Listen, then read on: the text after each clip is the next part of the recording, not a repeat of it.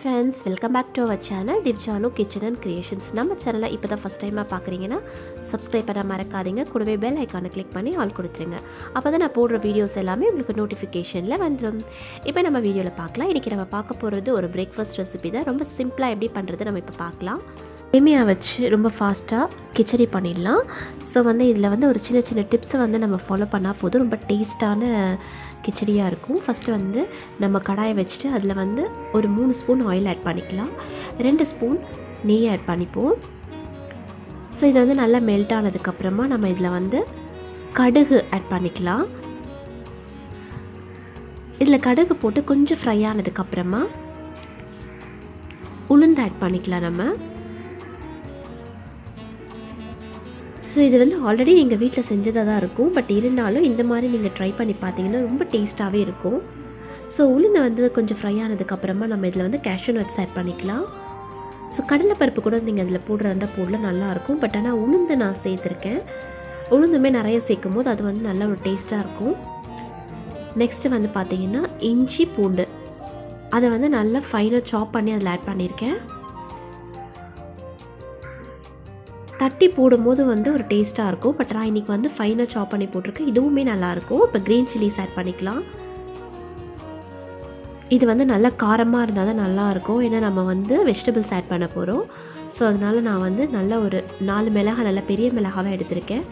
இப்போ பாருங்கள் carrot beans இதில் ஆட் பண்ணிக்கலாம். ஸோ எல்லாமே சேர்த்து நல்லா குக் ஆகட்டும். கேரட் பீன்ஸ்லாம் நல்லாவே ஃபைனாகவே நான் வந்து சாப் பண்ணியிருக்கேன். ஸோ அப்போ தான் ஈஸியாக உங்களுக்கு வந்து பாயில் ஆகுன்றதுக்காக இப்போ இது நல்லா சேர்த்து வதக்கினதுக்கப்புறமா இதுக்கு நம்ம ஆனியன் ஆட் பண்ணிக்கலாம்.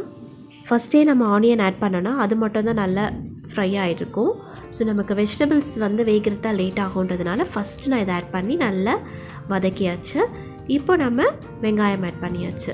ஏன்னா இதெல்லாம் வந்து சீக்கிரமாகவே வந்து வதங்கிடும். அதனால் வந்து நான் இதை லேட்டாக போட்டிருக்கேன்.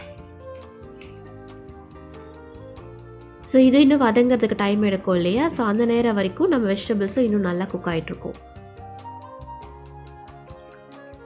இது வந்து ரொம்ப சிம்பிளான ரெசிபி தான். ஆனால் வந்து இந்த மாதிரி நீங்கள் ட்ரை பண்ணிங்கன்னா ரொம்ப நல்லா டேஸ்ட்டாகவே இருக்கும். இப்போ பாருங்கள் நம்ம வந்து ஒரே ஒரு தக்காளி. அதை வந்து நான் சாப் பண்ணி அதில் ஆட் பண்ணியிருக்கேன். ஸோ இப்போ எல்லாமே சேர்த்து நல்லா வதக்கிக்கலாம். இப்போ இதில் வந்து நல்லா வதக்கியாச்சு. இப்போ நம்ம வந்து தண்ணி அதில் ஆட் பண்ணணும். ஒரு பேக்கெட் நீங்கள் எடுக்கிறீங்க அப்படின்னா அதில் வந்து ஃபோர் ஹண்ட்ரட் எம்எல் ரெண்டு டம்ளர் தண்ணி ஊற்றணும் ஸோ ரெண்டு பேக்கெட்னா நாலு டம்ளர் தண்ணி. அதுதான் கணக்கு. ஸோ இப்போ வந்து நம்ம மஞ்சள் தூள் உப்பு எல்லாமே இதில் போட்டுடலாம். தண்ணி நல்லா கொதித்த உடனே நம்மளோட சேமியா அதில் அப்படியே டைரெக்டாக ஆட் பண்ணிக்கலாம். தண்ணி நல்லா கொதித்த உடனே நீங்கள் அதில் ஆட் பண்ணும்போது சீக்கிரமாக அதை வந்து பாயில் ஆகிடும் ஸோ ஆல்ரெடி வந்து நம்மளோட கேரட் பீன்ஸ் வந்து நல்லாவே வந்து வதக்கியாச்சு. அதனால் சீக்கிரமாக வந்து நமக்கு இதில் வெந்துடும் இப்போ வந்து நம்ம சேமியாவும் அதில் ஆட் பண்ணியாச்சு. நான் வந்து இன்றைக்கி வந்து பார்த்திங்கன்னா நாலு டம்ளர் தண்ணி ஊற்றிருக்கேன் ஸோ நம்ம வெஜிடபிள்ஸ் ஆட் பண்ணும்போது நம்ம வந்து அஞ்சு டம்ளர் தண்ணி ஊற்றினா கரெக்டாக இருக்கும். ரெண்டு பேக்கெட் ஆட் பண்ணுறதா இருந்தால் ஆனால் நான் ரெண்டு பேக்கெட் போல் ஒன் அண்ட் ஆஃப் பேக்கெட்ஸ் தான் போட்டிருக்கேன். ஸோ அதனால் எனக்கு நாலு டம்ளர் தண்ணி கரெக்டாக இருந்துச்சு. இப்போ எல்லாமே சேர்த்து நல்லா மிக்ஸ் பண்ணிக்கலாம். இப்போ உப்பு பார்த்தீங்கன்னா ஒன் அண்ட் ஆஃப் ஸ்பூன் தான் போடணும். ஸோ நான் அதில் ஆல்ரெடி போட்டுட்டேன். எல்லாமே சேர்த்து நல்லா மிக்ஸ் பண்ணிக்கலாம்.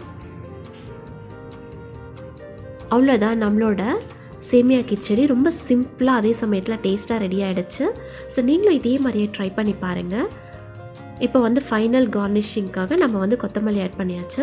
இந்த கொத்தமல்லி வந்து நிறைய ஆட் பண்ணும்போது நல்ல ஒரு ஃப்ளேவர் கிடைக்கும் நமக்கு.